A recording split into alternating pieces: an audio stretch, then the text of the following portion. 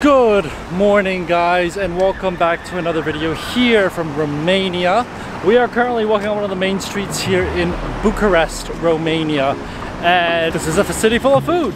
We did a previous food video uh, here in Bucharest but today we're going on a full street food tour of Bucharest.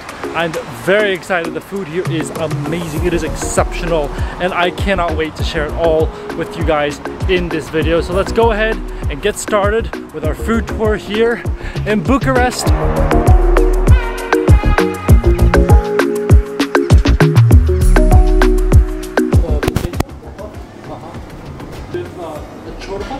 Uh, Perișoare. With meatballs. With, with meatballs. Yeah. Yes, can I Da? have that? Yes. Și carne porc.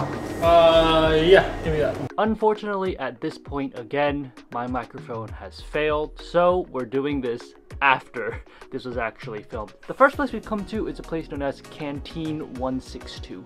It's located right in the old town of Bucharest and it is an amazing place. It's in this beautiful little courtyard and of course the ladies that run this place are some of the friendliest and most helpful staff members that you could ask for. We've got a few things here and it looks pretty good.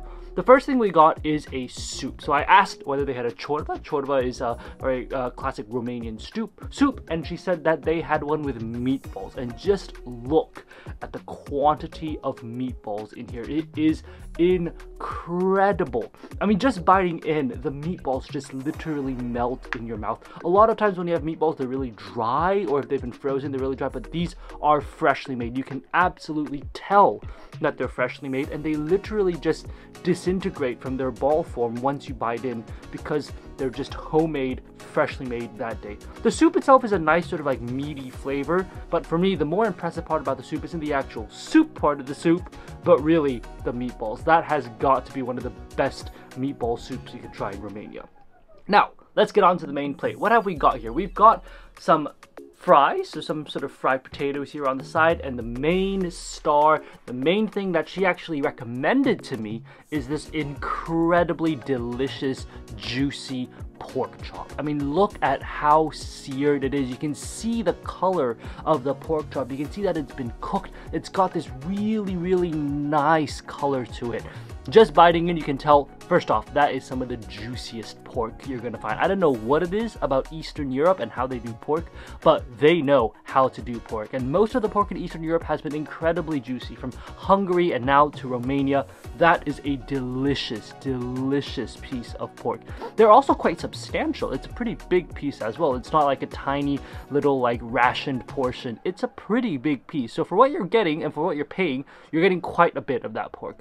The fries are pretty standard, they're just nice crispy potatoes. They are sort of quite flavorful as well, they've got a bit of like a salty taste to them. Mixed in with that pork, the two really complement each other really well. So actually the funny thing is when I just got the potatoes, the next thing the lady asked is, do you want pork with that? Because they do work well together. They work really, really well together. But overall, what an amazing combination. That is definitely worth it. And like I said, smack dab in the middle of the old town. You could go to some fancier and more expensive restaurants, but here at Canteen 126, you're getting some really, really authentic, delicious, home-cooked Romanian food that is pretty hard to find in this area of Bucharest.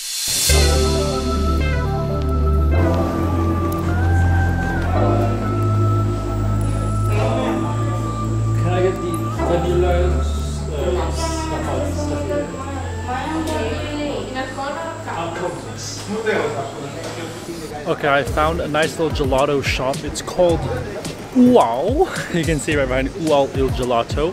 I got something which is like vanilla with sustafide. Remember sustafide, we had it in the kofrig um, in Romania before, which is the um, raisin thing. But this thing is melting, so let's hurry up and eat it. Let me go and try it out.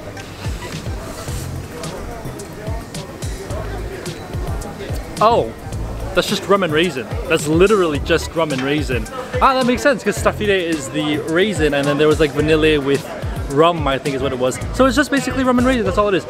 You do see a little speck of vanilla, the little black dots within the ice cream, so that's clearly showing that there is a vanilla base to this, but this ice cream is completely melting, so I'm just gonna finish this off because the sun is hot and this thing's gonna melt unless I start eating it, uh, uh, literally another drop is about to fall. So I'm gonna finish this up and I'll see you guys when we eat again.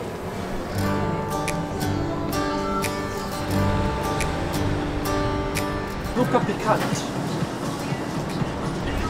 One? One.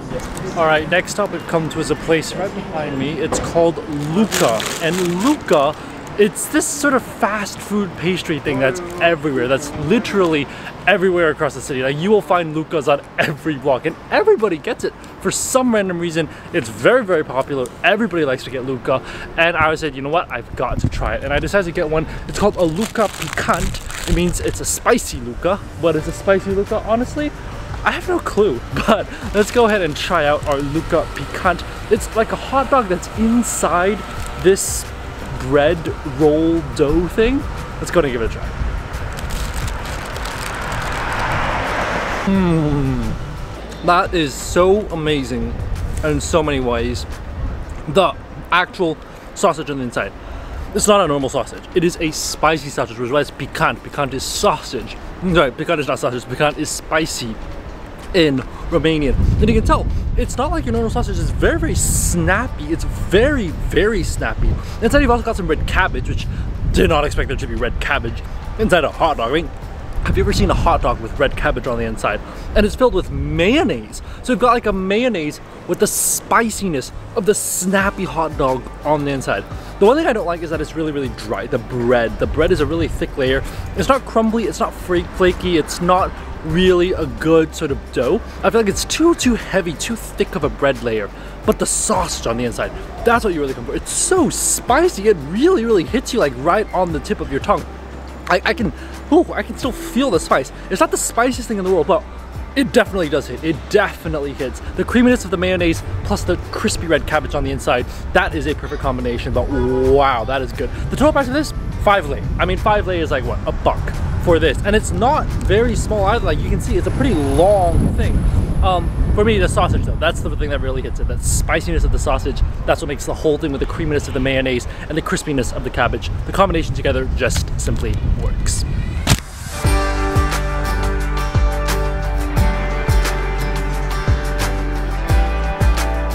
All right, we are back in the old town. The sun has set. It is now officially dark here in Bucharest and uh, we are at a place that is supposed to serve some of the I mean, it's, an, it's an old old old place. I can't wait to show you guys what this place is about. Let's go ahead and see if we can get a table because I think it's pretty packed. Hopefully they don't need a reservation or else we will not be eating here tonight but let's see let's see. Yeah course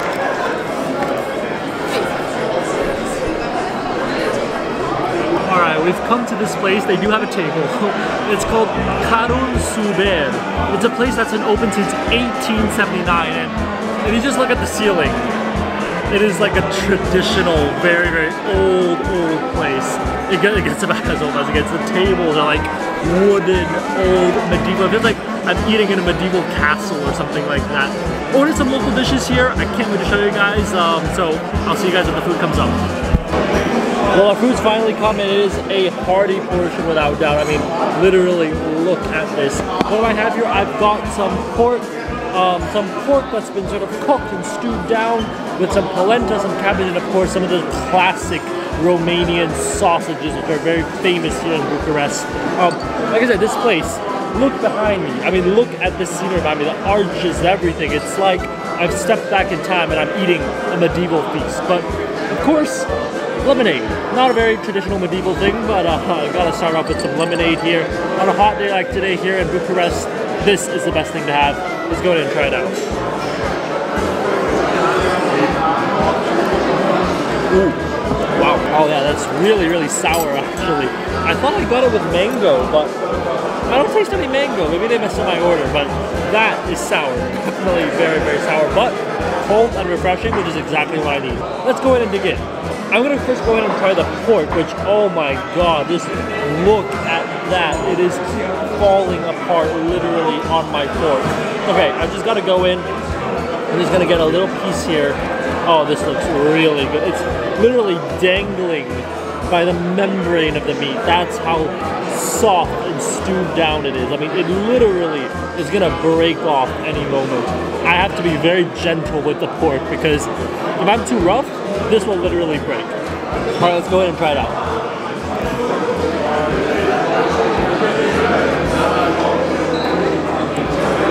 Mm. That is some of the smokiest pork I've ever had.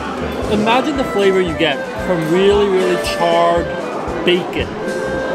That's what every little strand of meat tastes like in this pork. It's delicate, it's soft. I love how the fatty parts of the meat have just turned into those tender things that are just keeping the meat together. If it wasn't for them, the meat would literally disintegrate. Like that's how soft it is. All right. Of course, I'm gonna try their famous sausage as well. Um, it looks a little bit dark, almost like a bit red. Maybe it's a blood sausage. I don't know. Go ahead and try this out. Mmm. Oh yeah. The flavor of that sausage is deep. I think there is a little bit of blood in there. I think I can taste a little bit of like a bloodier flavor to it. Very, very deep, very rich flavor to the sausage. That is incredible. Okay, what I'm gonna do is I'm gonna combine everything. So, I'm gonna get some pork, gonna mix it in. Just gonna get a small piece of pork with the polenta, with the actual cabbage. This looks like a hearty bite. This looks like the bite of, you know, Romanians for hundreds and hundreds of years. Let's go ahead and try it That is perfect, and here's why. The cabbage. You might think that is just normal cabbage. No, the cabbage is sour in flavor, and the sourness is almost like sauerkraut. It helps to cut down from the fattiness of that pork, which is just dripping with juice and fat that's barely holding it together. The polenta, nice, warm, and fluffy. It's exactly what you want. It is so fluffy, it is so warm, and it just disintegrates once it happens, uh, enters- into your mouth. For me, what I really like is the sourness of the cabbage. That sourness really helps to break down the oiliness and the fattiness of the pork because it's really fatty. The pork is without a doubt really, really fatty. So you need the sourness of the cabbage. But the combination together works. You've got to get it all together. The polenta, the cabbage, the pork, all three of them together. That's what's going to get you the perfect contrast between the different flavors. But wow, definitely a really good thing to try when you're here in Bucharest. And probably one of the best settings ever. Okay, I'm gonna finish this up and we've got a traditional Romanian dessert that I've been wanting to try for a long time, but I haven't. So I'll show you guys when dessert comes up in just a bit. All right, finally our dessert has arrived, and we've gotten something that I've actually been thinking about getting for a very long time. This is papanasi. It is a very traditional Romanian dessert, and I saw it in Brasov, I saw it in Sibiu, I saw it in Timișoara, I've seen this, I've seen it in Chisinau, I've seen it everywhere. Just never had the chance to try it. If I don't try it today, I'm leaving Romania. I'm never, I might never get the chance to try it, so I got to give this a try. Papanasi is basically a fried Romanian donut, but inside the donut they have jam, they have berries, and they have sweet cheese. So, without further ado, I'm just gonna go ahead and cut right in. Um, like I said, I've I've seen it everywhere. I've literally seen it all over Moldova. I've seen it in, you know, in all different cities in Brasov and in, in Sibiu. I just never had the chance to try it. So let's go ahead and try out my first papanasi. I've just cut it right in, and the cheese has just fallen in like a little like river, like a waterfall of cheese. Let's go ahead and try it out.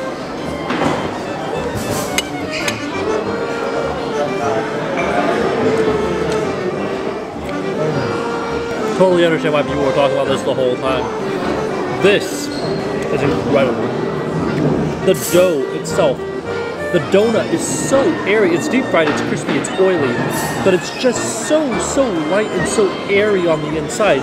You've got cheese, but the cheese doesn't taste like cheese. It almost tastes like a whipped cream. It's so soft, it's so gentle. No, no cheesy flavor, just really sweet and everything. And the berry sauce, it's not sour, it's just really, really sweet and delicate. Of course, the powdered sugar on top adds to that flavor. But it's also not a very thick sauce, it's a very watery, thin sauce, and I like that. Because with the donut, with the donuts that's already deep fried and with all that oil, you don't need a thicker sauce. You don't need to add a thicker sauce on top of that. And of course, the cream, the cheese, is already thick enough that you don't need a thicker sauce to add on to the thickness, or else it's going to be too, too, too thick. But the flavor is incredible. I really have to admit, the flavor here is incredible, and it's quite heavy. It's two big ones. I just took a bite, like I feel like I'm, I, like it filled half of my belly. So definitely, definitely save some room for dessert if you come here. Uh, but I'm gonna finish this up, and then I will talk to you guys in a bit.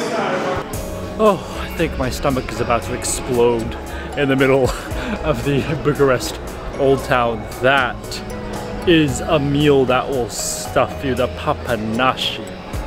I couldn't finish it. I honestly couldn't finish it. I finished one and I still had one more to go. I took a bite of the other one and I was like, I am done. That really, I mean, it's cheese plus berries plus fried donuts and the dough, even though it's airy and everything, even though it's light, it's a lot.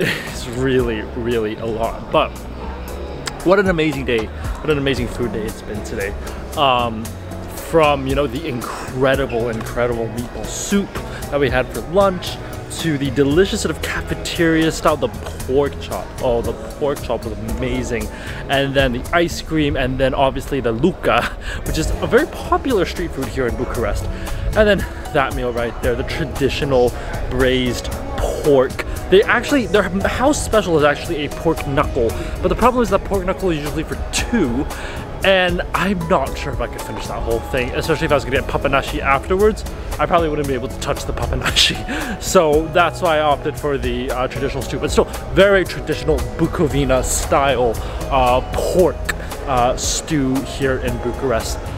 It's been a great food day. It honestly has been a great food day and I hope you guys have enjoyed this video. If you did, definitely give it a thumbs up and subscribe for more food and travel videos. Um, that's gonna be our last food video here from Romania, unfortunately, but it's been a great food time here in this country. I hope you guys have enjoyed the Romanian food series. And we've got more food series coming up, so make sure to stay tuned. Um, and I'm excited to show you guys more of food here in Eastern Europe, so stay tuned and I will see you guys on the next one. Bye guys.